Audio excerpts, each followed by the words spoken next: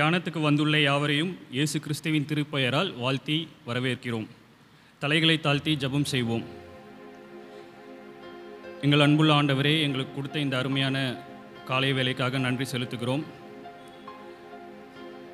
நேத்திரவிலும் நாங்கள் நன்றாக நித்திரை செய்து அனைவரும் நல்ல உடல்நலத்தோடும் நல்ல பலத்தோடும் நாங்கள் ஒரு சிறு கூட்டமாக உம்மை சேர்ந்து தொழுகவும் உம்மை பற்றிய விசுவாசத்தை அறியவும் எங்களுக்கு கொடுத்த இந்த அருமையான காலை வேலைக்காக நன்றி செலுத்துகிறோம். இந்த ஜப வேலையில் நாங்கள் ஏறெடுக்கும் பாடல்கள் வார்த்தைகள் அனைத்தும் உமது மகிமிகா மகிமைக்காக மட்டும் நாங்கள் அதை செய்யவும் உமது நாமத்தை போற்றவும் அறிந்து கொள்ளவும் இந்த தருணத்தை நாங்கள் நல்ல முறையில் பிரயோஜனமாக உபயோகப்படுத்தவும் எங்களுக்கு நல்ல மன சிந்தனையும் ஞானத்தையும் எங்களுக்கு தந்துடும் இந்த ஜப வேலை முழுவதும் உம்முடைய வழிநடத்துதலும் பாதுகாப்பும் இருக்க எங்களோடு இருந்து எங்களை காற்றுக்கொள்ளும் என்று இந்த ஜெபத்தை ஏற்றுக்கொள்ளும் பரமபிதாவே ஆமேன். இன்றைய ஆராதனைக்கு ஆரம்பமாக அனைவரும் எழுந்திருந்து திருப்பாடலில் நாற்பத்தி ஒன்றாவது பாடலை பாடுவோம். திருப்பாடல் நாற்பத்தி ஒன்று பரிசுத்தம் பெற வந்துட்டீர்களா என்ற பாடலை பாடுவோம். பரிசுத்தம் பெற வந்திட்டீர்களா? ஓ பில்லா திரு ஸ்நானத்தினால் பாவதோஷம் நீங்க நம்பினீர்களா? ஆட்டுக்கூட்டியின் ரத்தத்தினால் மாசில்லா சுத்தமா திரு புண்ணிய தீத்தத்தினால் குற்றம் நீங்கி விட குணமாறீற்றா?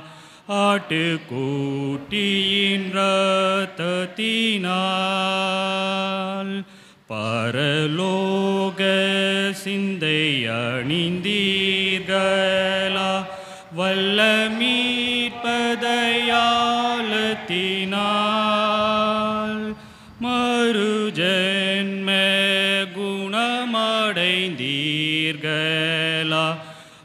ஆட்டுக்கூட்டியின் ரத்தத்தினால் மாசில்லா சுத்தமா திருப்புண்ணிய புண்ணிய குற்றம் நீங்கி விட குணமாறீற்றா ஆட்டுக்கூட்டியின் ரத்தத்தினால் மணவாளன் வர கலிப்பீர்களா தூய நதியின் ஸ்நானத்தினால் மோட்சக்காரை ஏறி சுகிப்பீர்களா ஆட்டுக்கூட்டியின் ரத்தத்தினால் மாசில்லா சுத்தமா திரு புண்ணிய தீத்தத்தினால் குற்றம் நீங்கி விட குணமாறீற்றார் ஆட்டுக்கூட்டியின் ரத்தத்தினால் மாசுக்காரை நீக்கும் நீசப்பாவியே சுத்தரத்தின் சக்தியினால் முத்தி பேருண்டாகும் குற்றவாளியே. ஆட்டு கூட்டியின் ரத்தத்தினால் மாசில்லா சுத்தமா திருப்புண்ணிய புண்ணிய தீத்தத்தினால் குற்றம் நீங்கி விட ஆட்டு ஆட்டுக்கூட்டியின் ரத்தத்தினால் அமர்ந்திருப்போம். இன்றைய நாளுக்கான வேத பாடத்தை வாசிக்க கேட்போம்.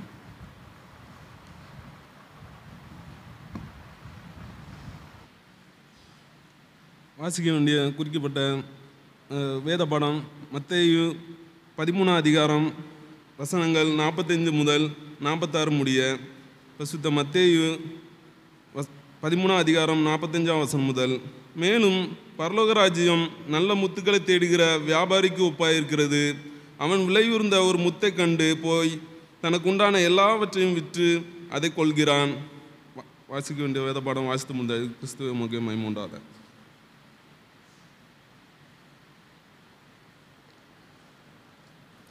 தலைகளை தாழ்த்தி நாம் ஜெபம் செய்வோம். அருமையான ஆண்டவரே எங்களுக்கு உணர்ந்த இந்த நல்ல தருணத்துக்காக நன்றி.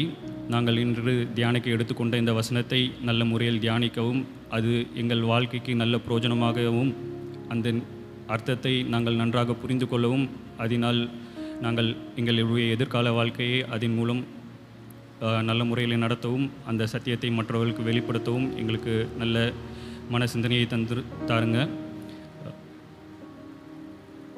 இந்த ஜெபத்தை தியானத்தை நாங்கள் நன்றாக கவனிக்கவும் எங்கள் மனதில் வேறு எந்த சிந்தனைகள் வரா வராமல் இருக்கவும் எங்களை மூடம் நேர்முகப்படுத்தவும் எங்களுக்கு கிருபை சேர்ந்துருங்க எங்களோடு இருந்து எங்களை காத்து வழிநடத்துங்க ஏசப்பா என்று இந்த ஜெபத்தை ஏற்றுக்கொள்ளும் பரமபிதாவே ஆமேன். க- கர்த்தருடைய பரிசுத்த நாமத்திற்கு மகிமை உண்டாவதாக. இன்று நாம் சிந்தனைக்கு எடுத்துக்கொண்ட வசனம் அல்லது ஓமை முத்துக்கள்.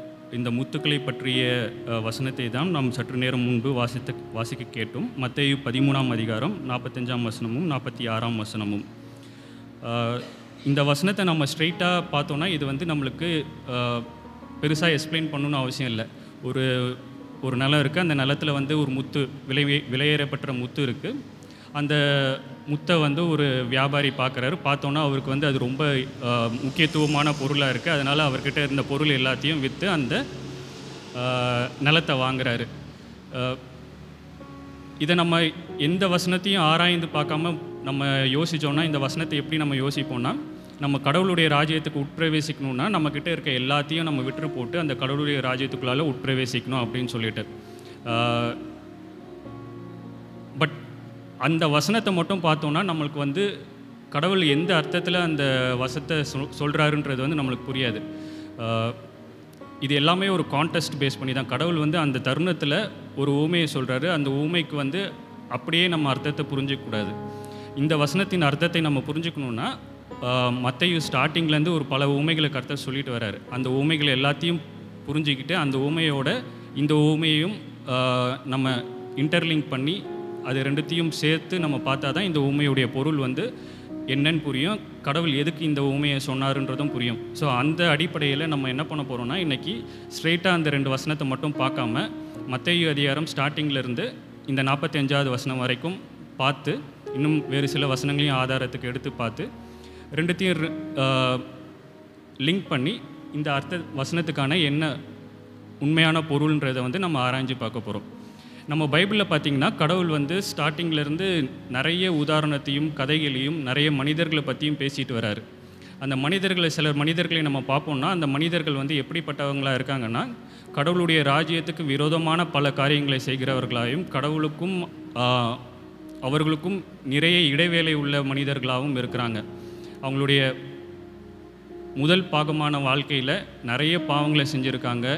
பாவங்கள்னால் பாவங்கள்னா கடவுளுடைய கட்டளைகளுக்கு விரோதமாக பல பாவங்களை செஞ்சுருக்காங்க. கடவுளுக்கு விரோதமான காரியங்களை ப- பல காரியங்களை செஞ்சுருக்காங்க. அப்படி இருந்தாலும் கடவுள் அந்த மனிதர்களை தேர்ந்தெடுத்து அவருடைய காரியங்களை செய்வதற்காக அவங்களை நல்ல முறையில் பயன்படுத்தியிருக்கார். சில உதாரணங்களை சொல்ல போகணுன்னா பேதுரு பீட்டர். பேதுரு என்ன பண்ணார்னா கடவுளை வந்து மூணு தரம் மறுதளிச்சார் அப்படி மூணு தரம் நீங்கள் எனக்கு கடவுளே இல்லைன்னு மறுதளிச்ச பிறகும் கடவுள் வந்து பேதுருவை வந்து அவருடைய நாமத்தை வெளிப்படுத்துவதற்காக விசேஷித்தமான முறையில் வந்து அவரை உபயோகப்படுத்தினார். பவுல் பால். இவர் எப்படிப்பட்ட மனுஷர்னா கடவுள் கடவுளுடைய வார்த்தையை சொல்கிற மனிதர்களை எல்லாம் வந்து துன்பப்படுத்தி அவர்களை சில நேரங்களில் கொலை கூட செஞ்சுருக்காரு. அப்படி கடவுளுக்கு விரோதமாக இருந்த மனிதர். ஆனால் அந்த மனிதரையும் உலகம் எங்கும் சுசேஷத்தை வெளிப்படுத்துறதுக்கும் பல தேவாலயங்களை கட்டுவதற்கும் கடவுள் வந்து இந்த பவுலை யூஸ் பண்ணியிருக்காரு. நம்ம இன்னும் சொல்ல போகணுன்னா பவுல் தான் வந்து நம்ம புதிய ஏற்பாட்டில் பாதி நிருபங்களை எழுதினது. ஸோ முந்தைய நிலைமைக்கும் பிந்தைய நிலைமைக்கும் பவுலை கம்பேர் பண்ணிங்கன்னா நிறைய டிஃப்ரென்ஸ் இருக்கும். ஒரு பாவ வாழ்க்கையில் இருந்த மனிதனை இப்படிலாம் எழுதுறதுக்கு அவர் வந்து உபயோகப்படுத்தியிருக்காரு. பழைய ஏற்பாட்டில் இன்னொரு பெண்மணியை பற்றி சொல்கிறார் அந்த பெண்மணி பேர் ரேகப். யோசுவா எழுதின நூ வேத படத்தில் வந்து நம்ம அவங்கள பற்றி நம்ம தெரிஞ்சுக்கலாம். அவங்க எப்படிப்பட்டவங்கன்னா ஒரு விவசாரியான ஸ்ட்ரீ ஷீஸ் அ ப்ராஸ்டிடியூட் தப்பான காரியங்களில் உடல் பிரகாம பிரகாரமான காரியங்களில் ஈடுபடுற ஒரு பெண்மணி. அப்படிப்பட்ட பெண்மணியை வந்து நம்ம ராஜா தாவீதுடைய பாட்டி பாட்டி இல்லாட்டி கொள்ளு பாட்டியாக அவங்க தான் இருந்தாங்க. ராஜா தாவீது நம்ம எல்லாருக்குமே தெரியும். ஒரு இஸ்ரேவேல் நாட்டை ஆண்டவர் நம்ம மக்களை ஆண்டவர் அப்படிப்பட்ட உடைய மனிதனுடைய பாட்டி இப்படி ஒரு நிலைமையிலேருந்து வந்தவங்க தான். மோசஸ் மோசஸ் வந்து ஒரு திக்குவாயர். கடவுள் வந்து அவரை தேர்ந்தெடுக்கும் போது அவர் வந்து என்ன சொன்னார்னா என்னால் வந்து இதை பண்ண முடியாது என்னால் பேச முடியாது அப்படின்னு ரொம்ப அவாய்ட் பண்ணார் கடவுளை. பட் ஆனால் கடவுள் அவரை எடுத்து பார்வோன் மாதிரி ஒரு ராஜா கிட்ட எதிர்த்து பேசவும் பல அதிசயங்களை செய்யவும் ஒரு பெரிய ராஜ்யம் பெரிய ஜனக்கூட்டமான மக்களை வந்து நடத்தி செல்லவும் மோசஸை வந்து கடவுள் யூஸ் பண்ணார். இதே மாதிரி பல மனிதர்களை நம்ம வந்து பார்க்கலாம். மத்தேயு அவர் வந்து ஒரு பெரிய சூதாட்டக்காரர். கிதியோன் ஒரு கோலை. யாக்கோபு ஒரு திருடன். நம்ம முற்பிதான்னு சொல்கிற ஆப்ரகாம் அவரையும் நம்ம ரொம்ப டீப்பாக பார்த்தோன்னா அவர்கிட்டையும் சில தப்புகள் இருக்குது அவர் வந்து தனக்கு தனக்கு உண்டான ஒரு வேலைக்காரியோட வந்து ஒப்புரவாகி அவங்களோட ஒரு பிள்ளையை பெற்றெடுத்தார். அதுக்கு பிறகு தம் ஒய்ஃபோட ரெண்டு தங்கைமார்களோடு இருந்தார். ஸோ இது மாதிரி பல காரியங்கள் தப்பான காரியங்களை பண்ணார். பட் ஆனால் கடவுள் அவர் தான் எடுத்து நம்மளுடைய முற்பிதான்னு சொல்கிறாரு அவருடைய வழிகளில் தான் நம்மளும் வந்தோம். ஸோ இப்படி பல தப்பிதங்களை பண்ண மனிதர்களையும் கடவுள் வந்து தேர்ந்தெடுத்து அவங்கள வந்து பல காரியங்களுக்கு உபயோகப்படுத்தியிருக்காரு. ஸோ நம்ம கடவுளை நம்ம எப்படி சொல்லலாம்னா he's a god of second chances god of second சான்சஸ்னால் எல்லாருக்கும் வந்து ஒரு ரெண் ரெண்டாவது தருணத்தை கொடுக்குற ஒரு கடவுள். நம்ம முந்தைய நிலைமையிலும் பிந்தைய நிலைமையை தான் கடவுள் பார்க்குறாரு. நம்ம முந்தைய காலத்தில் எத் எத்தனை தப்பு செஞ்சாலும் இந்த அவர் இன்னொரு சான்ஸ் கொடுத்து நம்மளை வந்து சீர்படுத்தணும் நம்ம வாழ்க்கையை மேன்மைப்படுத்தணும்னு தான் கடவுள் வந்து நினைக்கிறாரு. இந்த இந்த மனிதர்களை பார்த்த மாதிரி நம்ம வாழ்க்கையும் வந்து கடவுள் அதே மாதிரி தான் நோக்கி பார்க்கிறார். நீங்கள் இப்போ எவ்வளோ பாவங்கள் செஞ்சீங்க? உங்களுடைய ஃப்யூச்சர் பாஸ்ட் லைஃப்பில் வந்து எவ்வளோ பாவம் செஞ்சீங்கன்றது வந்து கடவுள் வந்து பார்க்கல. இனி ஃப்யூச்சர் லைஃப்பில் உங்களை பாவங்களை மன்னித்து நீங்கள் கடவுள்கிட்ட எப்படி சேர போகிறீங்கன்றத வந்து கடவுளை பார்க்குறாரு. இந்த நேரத்தில் நான் வந்து ஒரு கேள்வியை உங்ககிட்ட கேட்கணும்னு நான் விருப்பப்படுறேன். அது என்ன கேள்வினா நீங்கள் என்ன நினைக்கிறீங்க? கடவுள் வந்து உங்களை வந்து அவர் பிள்ளையாக ஏற்றுக்கொண்டாருன்னு நினைக்கிறீங்களா? உங்கள் பாவ வாழ்க்கையை மன்னித்து நீங்கள் அவருக்காக ஊழியம் செய்வீங்க அவர் வாழ்க்கைக்காக உங்களை மு முற்றிலும் ஒப்புவிப்பீங்க அப்படின்னு வந்து நீங்கள் கருது நினைக்கிறீங்களா? ஸோ உங்கள் மனசில் கடவுள் உங்களை பற்றி என்ன நினைக்கிறாரு அப்படின்ற உங்களுடைய கட கருத்து என்ன? கடவுள் வந்து உங்களுடைய கடந்த காலத்தை பார்க்கிறாரா? இல்லை நிகழ்காலத்தை பார்க்குறாரா? உள்ள- அல்லது உங்களுடைய எதிர்காலத்தை எப்படி மேன்மைப்படுத்தணும்? எப்படி உங்கள் மனமாற்றத்தை கொண்டு பெரிய காரியங்களை செய்யக்கூடும் என்று வந்து கடவுள் வந்து நினச்சிட்டு இருக்காரா? உங்களுடைய கருத்து கருத்து என்ன? இதை நீங்கள் எப்படி திங்க் பண்ணிக்கிறீ பண்ணுறீங்க எப்படி அதை எடுத்துக்கிறீங்கன்றதை பொறுத்து தான் நீங்கள் கடவுளோட வந்து எவ்வளோ ஒப்புரவாகி அவருடைய காரியங்களில் எவ்வளோ ஈடுபட்டு கடவுளுடைய ராஜ்யத்தில் எப்படி பிரவேசிக்க போகிறோன்றது வந்து இருக்குது நம்ம சில நேரத்துங்களில் நினைக்கலாம். நான் வந்து இவ்வளோ பாவம் செஞ்சுருக்கேன் நான் சர்ச்சுக்கே வரதில்லை. நிறைய வெளியில் தெரியாத பாவங்களை செஞ்சுருக்கேன். இப்படிலாம் நம்ம மனசில் நினைக்கலாம். நான் கடவுளுடைய ராஜ்யத்துக்கு பிரவேசிக்கிறதுக்கு வந்து தகுதியற்றவன். கடவுள் வந்து என்னை வந்து மன்னிக்க மாட்டார். இப்படின்னு பல சிந்தனைகள் வந்து நம்ம மனசில் வரலாம். பலர் சொல்லலாம். இது மாதிரி நீ வந்து எப்படி இதுக்கெல்லாம் எலிஜிபிள் அப்படின்ற மாதிரி பலர் சொல்லலாம். அப்படிலாம் அப்படி யாராவது சொன்னாங்கன்னா அப்படிலாம் நினச்சிங்கன்னா அது வந்து தப்பு. இட்ஸ் அ லை அது வந்து ஒரு பொய். நம்ம வந்து அப்படி நினைக்கக்கூடாது. கடவுள் வந்து எந்த காலத்திலையும் நம்மளை வந்து பழைய பாவங்களால் நம்மளை வந்து மறுதளிக்கல நம்மளை வந்து தள்ளி விடலை. நம்ம மனமாற்றத்தோடு அவர்கிட்ட போனோன்னா கடவுள் வந்து நம்மளுடைய எதிர்காலத்தை நினைத்து நம்மளை நம்முடைய வாழ்க்கையை மேன்மைப்படுத்துறதுக்கு தான் வந்து கடவுள் வந்து முயற்சித்து கொண்டுட்ருக்காரு. அதிக அதை புரிய வைக்கிற மாதிரி உள்ள வசனம் தான் நம்மளுக்கு இன்றைக்கி வாசித்த வேத பாடகம் மத்திய பதிமூணாம் அதிகாரம் நாற்பத்தஞ்சு நாற்பத்தாறு அதில் என்ன சொல்கிறாருன்னா பலோக பரலோக ராஜ்யம் நல்ல முத்துக்களை தேடுகிற வியாபாரிக்கு ஒப்பாயிருக்கிறது. இந்த வசனத்தை டைரெக்டாக வந்து நம்ம சில கிறிஸ்டின்ஸ் கிட்ட கேட்போம்னா அவங்க என்ன சொல்லுவாங்கன்னா நம்ம கடவுளுடைய ராஜ்யத்துக்குள்ளே பிரவேசிக்கணும்னா நம்மக்கிட்ட இருக்க ஆஸ்திகள் சொத்துக்கள் நகைகள் எல்லாத்தையும் விற்று நம்ம ஒரு ஏழையாக கடவுளை மட்டும் தேடிட்டு அவர்கிட்ட போனால் தான் கடவுள் வந்து நம்மளை ஏற்றுக்குவார் நம்ம கடவுளுடைய ராஜ்யத்துக்குள்ளால போக முடியும் அப்படின்னு நினைப்பாங்க. அது முற்றிலும் தப்புன்னு சொல்ல மாட்டேன். ஏன்னா நம்ம கடவுளே வந்து இன்னும் பல இடங்களில் வந்து சில ஊமைகளை சொல்லியிருக்காரு. ஊசியின் காதில் ஒட்டகம் கூட போயிடும் ஆனால் வந்து ஒரு பணக்காரன் வந்து கடவுளுடைய ராஜ்யத்துக்குள்ளால போக முடியாது அப்படின்னு சொல்லிட்டு. அதனால் அது முற்றிலும் தப்புன்னு சொல்லக்கூடாது. பட் ஆனால் இந்த இடத்துல கடவுள் வந்து இந்த வார்த்தையை ஏன் சொன்னாருன்னு அப்படி எதிர்ப்ப நினச்சிங்கன்னா பணக்காரன் கடவுளுடைய ராஜ்யத்துக்குள்ளால போக முடியாதுன்னு கிடையாது போகலாம். பட் இந்த இடத்துல அவர் சொன்ன அர்த்தம் வந்து வேற. இதே மத்தையு எழுதின நிருபம் ஸ்டார்டிங்லேருந்து நம்ம படிச்சுட்டு வருவோம்னா கடவுள் வந்து பல உதாரணங்களை கொடுத்துட்டு வர்றாரு விதைகளை பற்றிய ஓமை மத்தேயு பதிமூணு மூணுலேருந்து ஒம்பது பார்த்தீங்கன்னா விதைகளை பற்றிய ஓமை கொடுக்குறாரு. மத்தேயு பதிமூணு இருபத்தி நாலுலேருந்து முப்பத்தி ரெண்டு பத்து கொடுத்தீங்கன்னா அறுப்பு காலத்தை பற்றிய ஓமை கொடுக்குறாரு. மத்தேயு பதிமூணு முப்பத்தி மூணாம் வசனத்தில் பார்த்தீங்கன்னா புளித்த மாவை பற்றிய ஓமை கொடுக்குறாரு.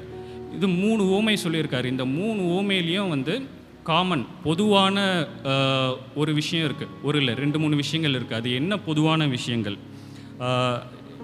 இந்த ஊமையில் எல்லாம் ஒரு நிலம் இருக்குது ஒரு விதை இருக்குது மற்றும் அந்த விதையை விதைக்கிற ஒரு மனுஷன் இருக்கான். இந்த மூணு உ- பார்த்த இந்த மூணு ஊமைகளும் பார்த்திங்கன்னா இந்த மூணு காமனான விஷயம் இருக்குது இந்த மூணு காமனான விஷயத்தையும் இந்த ஊமைகளையும் திருப்பி திருப்பி கேட்ட உடனே கடவுளுடைய சீஷர்களுக்கே வந்து டவுட் வந்துருச்சு. கடவுள் வந்து ஏன் இந்த உண்மைகளை சொல்கிறாரு இந்த சொல்கிறதுக்கான காரணம் என்ன?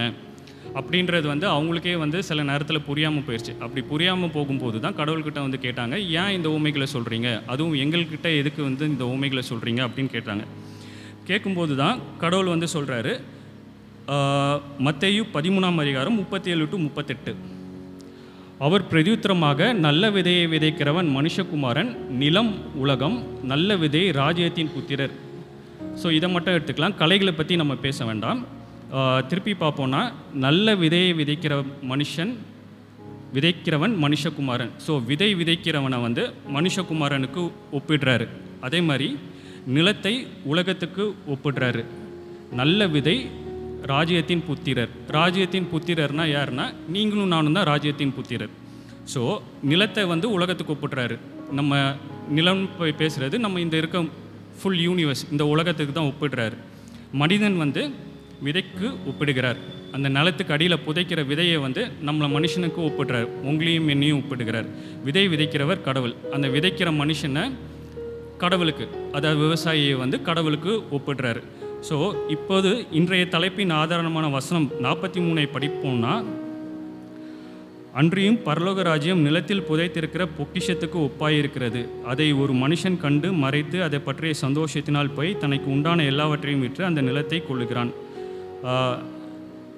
பரலோக ராஜ்யம் நிலத்தில் புதைந்திருக்கிற பொக்கிஷத்துக்கு ஒப்பாயிருக்கிறது. இப்போ நிலத்தில் புதைத்து வச்சது நம்ம என்ன? இதுக்கு முன்னாடி முன்னாடி பார்த்த மூணு ஊமைகளில் நில நிலத்துக்குள்ளால புதைச்சி வச்ச பொக்கிஷன்றது வந்து என்ன சொல்கிறாங்கன்னா விதையை தான் சொல்கிறாங்க ஸோ நிலத்தில் புதைந்து இருக்கிறது தான் பொக்கிஷம். இப்போ ஒரு வந்து இன்னொரு கேள்வி நம்ம மனசுக்குள்ளால எழும்பலாம். கடவுளுடைய ராஜ்யத்தை அடையிறதுக்கு என்ன விலை கொடுக்க முடியும்? நம்மளால் ஒரு விலை கொடுத்து வாங்க முடியுமா? கடவுளுடைய கடவுளுடைய ராஜ்யத்தை. நம்மக்கிட்ட பணம் இருக்குது நம்மக்கிட்ட இருக்குது ஒரு சர்ச்சு கட்டி கொடுக்குறோம் இல்லாட்டி சர்ச்சுக்காக பெரிய காரியங்களை செய்கிறோம். அப்படிலாம் செய்யும்போது நம்ம ஒரு விலை கொடுத்து கடவுளுடைய ராஜ்யத்தை வாங்க முடியுமா? நம்மளால் வாங்க முடியாது. ஆனால் கடவுள் வந்து நம்மளை ஒரு பெரிய விலை கொடுத்து வாங்கியுள்ளார். அந்த விலையை பற்றி நம்ம தெரிஞ்சுக்கணுன்னா ரெண்டு குருந்தியர் எட்டாம் அதிகாரம் ஒன்பதாவது வசனம். யாராவது படிக்கலாம். ரெண்டு கோரிந்தியர்.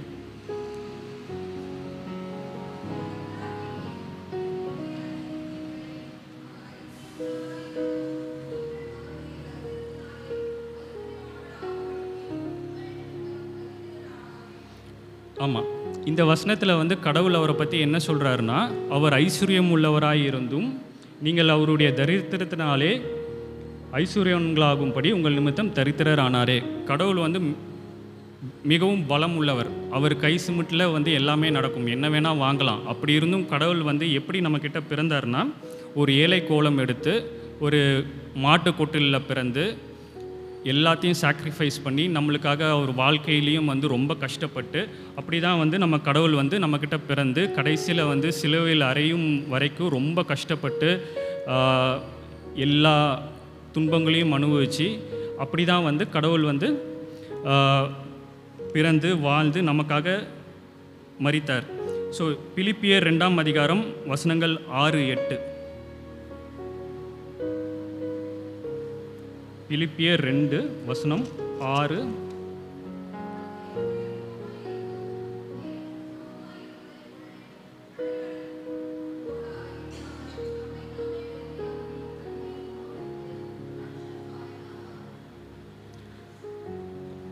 தம்மை தாமே வெறுமையாக்கி அடிமை அடிமையின் ரூபம் எடுத்து மனுஷ சாயலானார். அவர் இத்தனை அவர்கிட்ட பவர் இருந்தோம். அவர் எப்படி நம்மக்கிட்ட வந்து வெளிப்படுத்தினார்னா அடிமையின் ரூபம் எடுத்து மனுஷ சாயலானார். ஸோ இவ்வளோ கஷ்டப்பட்டு அவர் எதுக்காக நம்மக்கிட்ட வந்து அடிமையின் ரூபம் எடுத்து இவ்வளோ சிலுவையில் அடிபட்டு கஷ்டப்பட்டு நம்மளுக்காக எல்லாத்தையும் துறந்து நம்மளுக்காக அவர் இப்படி எடுக்கணும். அவர் அந்த எடுத்த அடிமையின் ரூபம் அவர் சிந்தின ரத்தம் தான் அவர் நம்மளுக்காக கொடுத்த பெரிய விலை. நம்ம எப்படி ஒரு பொருளை வாங்குறதுக்காக ஒரு பெரிய விலையை கொடுத்து வாங்குறோமோ அதே மாதிரி கடவுள் வந்து நம்ம எல்லாரையும் வந்து ஒரு பெரிய விலை கொடுத்து வாங்கியிருக்கிறாரு. அந்த விலை தான் அவர் எடுத்த அடிமையின் ரூபம் அவர் சிந்தின ரத்தம் சிலுவையில் அவள் அவர் பட்ட பாடு அவர் பட்ட மரணம் எல்லாமே வந்து அவர் நம்மளுக்காக கொடுத்த விலை. இப்பொழுது மத்தேயு பதிமூணாம் அதிகாரம் நாற்பத்தி நாலு நாற்பத்தஞ்சு நாற்பத்தாறு இந்த ஊமையை திருப்பி பார்த்தோன்னா அவர் என்ன கூற வர என்ன சொல்ல வராரு அப்படின்றது வந்து புரியும். அந்த ஊமையில் வந்து ஒரு வியாபாரியை பற்றி சொல்கிறாங்க அந்த இப்போ வியாபாரி நம்ம இதுக்கு முன்னாடி ஊமையோட கோரிலேட் பண்ணி பார்த்தோன்னா அந்த வியாபாரி யார்? கடவுள் தான் அந்த வியாபாரி. அதே போன்று அந்த நிலத்தை யாருக்கு ஒப்பிடுறாரு உலகத்திற்கு ஒப்பிடுறாரு. அந்த முத்தை மனிதனுக்கு ஒப்பிடுறாரு. நீங்களும் நானும் தான் அந்த முத்து. வியாபாரி கடவுளுக்கும் அந்த நிலத்தை உலகத்திற்கும் முத்தை மனிதனாகவும் ஒப்பிடுகிறார். நீங்களும் நானும் தான் அந்த விலையேறப்பட்ட முத்து. இந்த உலகம்தான் அந்த நிலம். ஒரு பொருளை வாங்கணுன்னா அந்த பொருளை வாங்கு வாங்குறவங்களுக்கு தான் அதோடைய மதிப்பு தெரியும். நம்ம இப்போ ஒரு வீடு வாங்குறோம்னா வீடு வாங்குறவங்களுக்கு தான் அதோடைய ஆக்சுவல் இம்பார்ட்டன்ஸ் தெரியும். நம்ம இப்போ அண்ணா நகரில் போய் ஒரு வீடு வாங்குறோன்னா ஒரு கோடி மதிப்பான வீடு. நம்மளால் ஈஸியாக வாங்கிட முடியாது. அப்போ என்ன பண்ணுவோம்னா நம்ம நம்மளுக்கு அது தேவை. ஃப்யூச்சரில் நம்மளுக்கு பிள்ளைங்களுக்கு தேவை நம்ம வாழ்க்கைக்கு தேவை. ஸோ அப்போ நம்ம என்ன பண்ணுறோம்னா நம்மக்கிட்ட இருக்க பொருட்களை எல்லாம் விற்று அந்த வீடை வாங்குகிறோம் ஸோ வாங்கும்போது அதோடைய இம்பார்ட்டன்ஸ் தெரியும். அதே மாதிரி தான் கடவுளுக்கு வந்து நம்ம இம்பார்ட்டண்ட்டாக தெரிஞ்சனால தான் அவர்கிட்ட இருக்க எல்லாத்தையும் விற்று நம்மளை வந்து வாங்கியிருக்கார். சிலுவையில் மறித்து அவர் ஜீவனையும் விட்டு நம்மளை வாங்கியிருக்கார். ஸோ இப்போ நம்ம வந்து அந்த முத்திலும் மேலானவர்கள் முத்து வந்து ஒரு உலக பிரகாரமான காரியம் ஒரு பொருள். அது விலை மதிப்பற்ற பொருள். நம்ம பல காரியங்களை வாங்குறதுக்கு நம்மளுக்கு மனுஷனாகிய நம்மளுக்கு உத உபயோகமாக இருக்கும். பட் ஆனால் கடவுளுக்கு வந்து முத்து பெரிய விஷயமா அவர் பெரிய விஷயமே கிடையாது. அவர் நினச்சா ஆயிரம் முத்து அவரால் கை ஸ்- கை நேரத்தில் அவரால் வாங்க முடியும். அவர் இந்த ஊமையை எதுக்கு சொல்கிறாருன்னா அந்த முத்தை நமக்கு ஒப்பிடுறதுனால தான் அந்த ஊமையை சொல்கிறாரு மனுஷன் முத்திலும் பெரியவன் முத்திலும் பொக்கிஷமானவன். முத்துன்றதை விட அது ஒரு பொக்கிஷன் நினைக்கணும். பொக்கிஷன்றது வந்து அதில் எவ்வளோ வேணா இருக்கலாம். இன்டெஃபினைட் அமௌண்ட்டு ஸோ அப்படி ஒரு பெரிய பொக்கிஷத்தை தான் வந்து அவர் வந்து அதில் மீன் பண்ணுறாரு இப்போ மனுஷனை தான் அப்படி மனிதர்கள் உங்களையும் என்னையும் தான் அவர் பெரிய பொக்கிஷமாக நினைக்கிறாரு. அந்த பொக்கிஷத்துக்காக தான் அவர் அவ்வளோ கஷ்டப்பட்டு அவர் உயிரிழந்து நம்மளை வந்து மீட்டு கொண்டார். நம்மளுக்கு எதா எப்பயாவது ஒரு தருணத்தில் வந்து கடவுளுக்கு நம்ம எவ்வளவு முக்கியம்னு நம்மளுக்கு தோணுச்சுன்னா அப்போது வந்து அவர் சிலுவையில் பாடுபட்டு மரணம் அடைந்ததை நம்ம வந்து நோக்கி பார்த்தோம்னா கடவுள் வந்து நம்மளுக்கு வந்து எவ்வளோ கடவுள் நம்மளுக்கு வந்து எவ்வளோ முக்கியத்துவம் தராருன்றது வந்து நம்மளுக்கு கிளியராக வெளிப்படும். நம்ம இதுக்கு முன்னாடி பார்த்தோம் இல்லையா? நம்மளுக்கு வந்து கடவுள் நம்மளை சேர்த்துக்கொள்வாரா? கடவுளுக்கு நம்ம முக்கியமானவங்களா? அப்படிலாம் நம்ம பழைய விஷயங்களை நினச்சோம் இல்லையா? அப்படிலாம் நினச்சோம்னா கடவுளோட கடவுள் சிலுவையில் நம்மளுக்காக அறையப்பட்டதையும் நமக்காக சிந்தின ரத்தத்தையும் நினச்சி பார்த்தோம்னா கடவுள் வந்து நம்மளுக்கு வந்து எவ்வளோ முக்கியத்துவம் தராரு நம்ம கடவுளுடைய ராஜ்யத்தில் எவ்வளோ இம்பார்ட்டன்றது வந்து நம்மளுக்கு நல்லா தெரியும். இப்போது இந்த பிரசங்கத்துக்கு இந்த மெசேஜ் ஸ்டார்டிங்கில் வந்து ஒரு கேள்வியை கேட்டேன். நீங்கள் என்ன நினைக்கிறீங்க? கடவுள் வந்து கடவுள் கடவுளினான கருத்து உங்கள் மேலான கருத்து என்ன? நீங்கள் கடவுளோட ஒப்புரவாகி இருக்கீங்களா? கடவுள் வந்து உங்களை வேஸ்ட்டு வேண்டான்னு சொல்லி ஒதுக்கி வைக்கிறாரா? இல்லை அவர் உங்களுடைய ஃப்யூச்சரை பார்த்து அவரோட ஒன்றி இருக்கணும்னு நினைக்கிறாரா? அதை திருப்பி நம்ம நம்மை நம்ம அது ஆராய்ந்து பார்ப்போம்னா அதோடைய விடை வந்து நம்மளுக்கே கிடைக்கும். கடவுள் வந்து நம்ம வேஸ்ட்டுன்னு எப்பயுமே ஒதுக்கி வைக்கல. அவர் நம்ம நம்மளை வந்து ஒரு முத்தாக கன்சிடர் பண்ணுற ஒரு ப்ரெஷியஸ் ஒரு விலை மதிப்பற்ற பொருளாக நம்மளை வந்து கன்சிடர் பண்ணுறாரு அப்போ வந்து கடவுள் வந்து எக்காரணத்தை கொண்டும் நீங்கள் செஞ்ச பாவத்தினாலையும் உங்களுடைய ஃப்யூச்சர் லைஃப்னாலையும் உங்களை வந்து ஒதுக்கி வைக்கிறதுக்கு டெஃபினட்டாக அவர் வந்து நினைக்கவே மாட்டார். கடவுள் வந்து உங்களுடைய சேர்த்தணைத்து தன்னுடைய பிள்ளையாய் உங்களை வந்து உங்கள் வாழ்க்கையை மேன்மைப்படுத்துறதுக்கு தான் அது வந்து நினைக்கிறாரு.